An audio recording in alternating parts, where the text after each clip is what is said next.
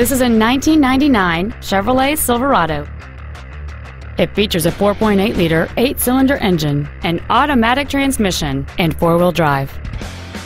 Its top features include a leather wrapped steering wheel with audio and stereo wheel controls, an anti lock braking system, and this vehicle's stylish design always looks great. This Chevrolet has had only one owner, and it qualifies for the Carfax buyback guarantee.